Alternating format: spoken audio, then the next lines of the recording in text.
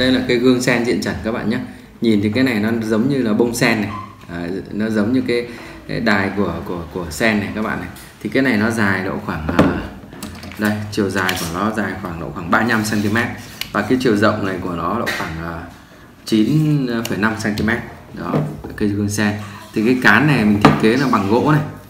À, và cái này là bằng các đinh inox. Đó thì cái này nó giống như một bàn tay ấy, mình xoa vào lưng. Thì cái này mình có thể là gì?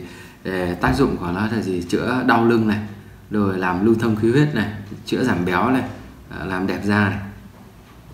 Cây gương sen này mình à, sẽ xoa trên cái vùng cổ vai gáy này. Nó rất là êm ái dễ chịu giống như một cái bàn tay đang xoa lên cổ vai gáy của mình ấy. nó rất là đều và êm để chữa, chuyên chữa những cái bệnh liên quan đến cổ vai gáy. Đó.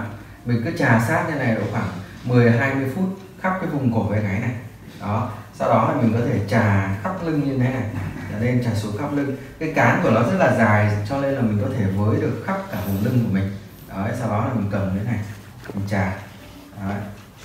trà khắp lưng mình. Rồi mình có thể trà vùng mông, vùng đùi. Và mình có thể trà vùng ngực và trà vùng bụng nữa. Mình có thể trà vùng bụng như này, để có tác dụng là giảm béo. Trà lên, trà xuống hoặc là xoay tròn như thế này.